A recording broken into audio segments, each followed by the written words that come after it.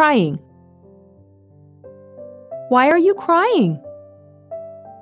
Did you hurt yourself? Where does it hurt? Are you unhappy? Are you sleepy?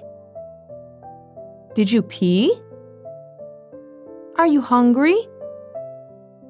Stop crying. Talk to mommy. Let mommy give you a hug.